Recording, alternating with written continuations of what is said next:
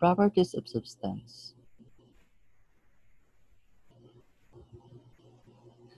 We have several classification of properties.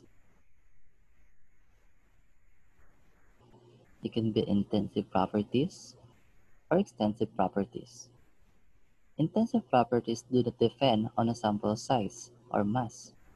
Example of this includes boiling point, state of matter, and density while extensive properties depend on the amount of matter in the sample. Example of this include size, mass, and volume.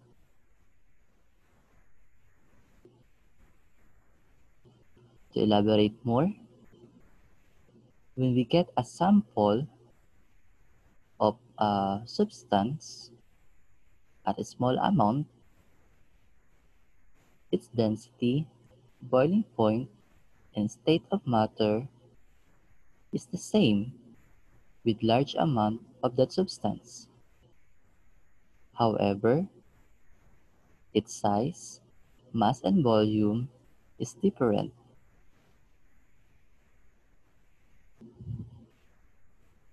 Physical properties of matter are any properties that can be perceived or observed without changing the chemical identity of the sample while chemical properties are those that only be observed and measured by performing a chemical reaction, thus changing the molecular structure of the sample.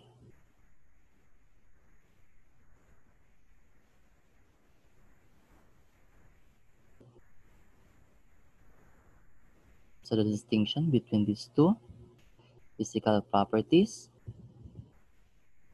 has no uh, we conduct an experiment that has no changing its chemical identity.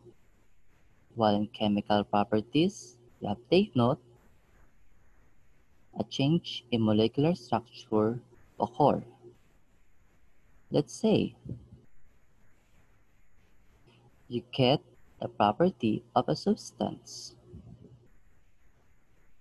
by simply, um, let's say, melting this one,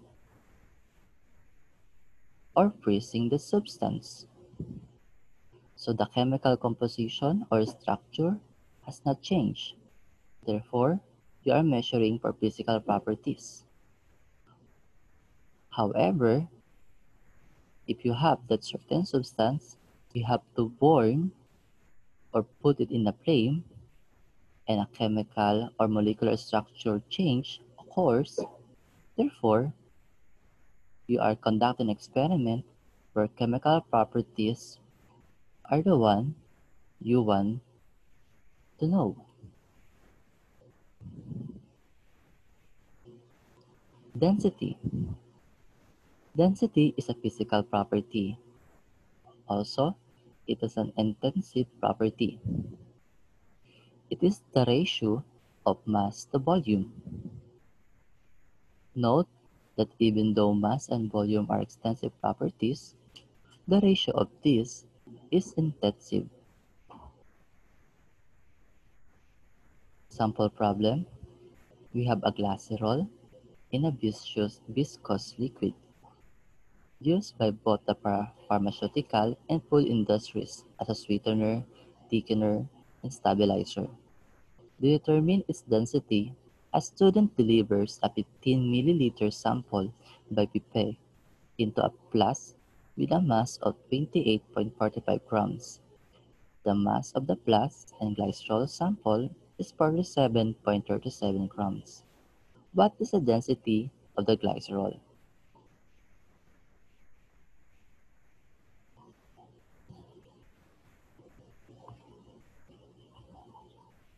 Okay, so first, let's take note of the given.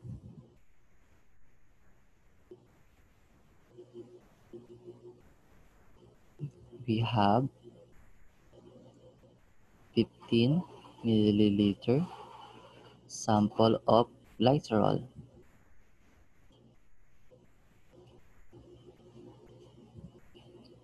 We have 28.45 grams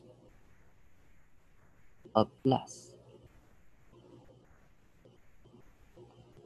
and we have 47.37 grams of plus N glycerol.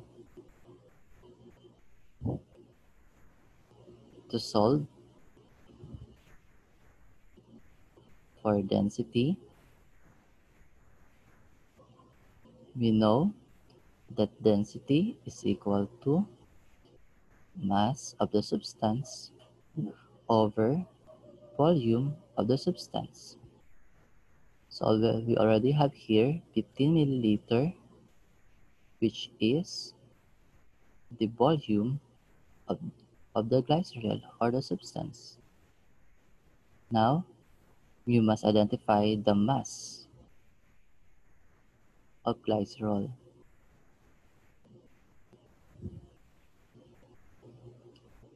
Solve that, we have to subtract 47.37, the combined mass of plus and glycerol, with the mass of the plus. Therefore, the mass of glycerol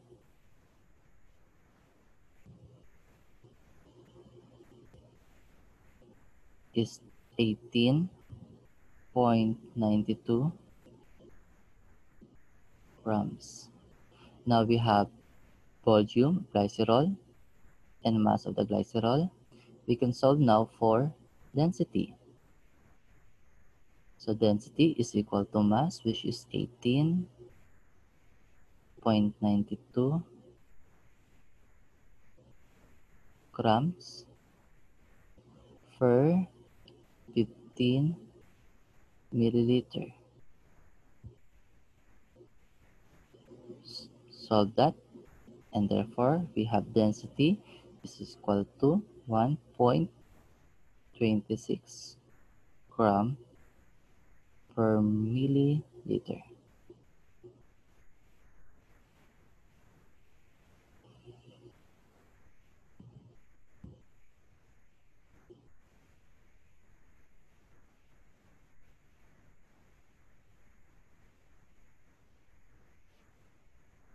That test your understanding. Ay, wala palang problem sample.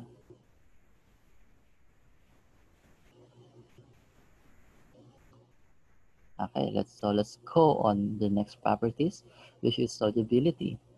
Solubility is referred to as the process by which a solute dissolved in a solvent is ordinarily a physical rather than a chemical change. Sample problem. Sucrose is a chemical name for the sugar we consume. Its solubility at 20 degrees Celsius is 200 per gram per 100 gram water. And at 100 degrees Celsius is 487 gram per 100 gram water. A solution is prepared by mixing 139 gram of, water, of sugar in 33 grams of water at 100 degrees Celsius what is the minimum amount of water required to dissolve the sugar at 100 degrees Celsius?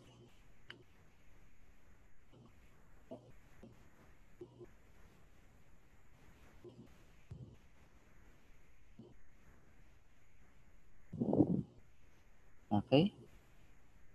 So we are looking for the minimum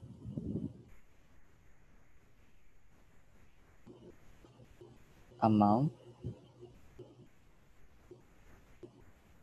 of water.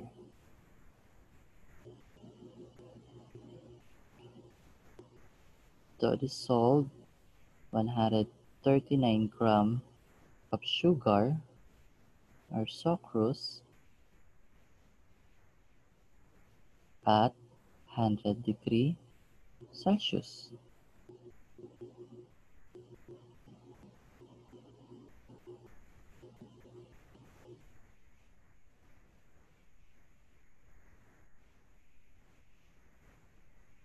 So mass of butter required is equal to 139 gram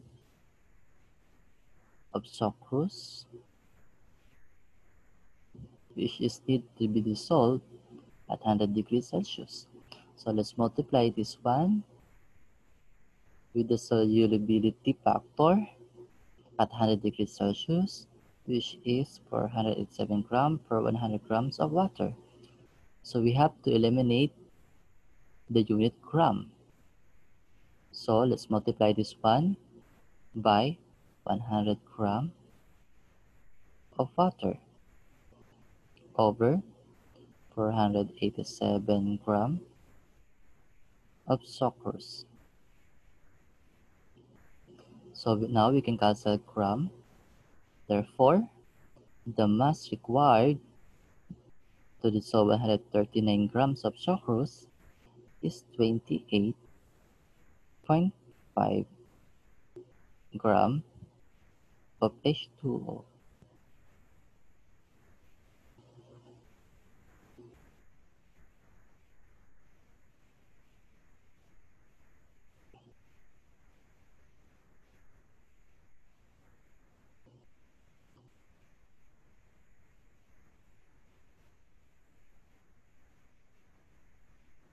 So let's test your understanding. From the previous problem, what is the maximum amount of sugar that can be dissolved in the water at 100 degrees Celsius? The solution is cold to 20 degrees Celsius.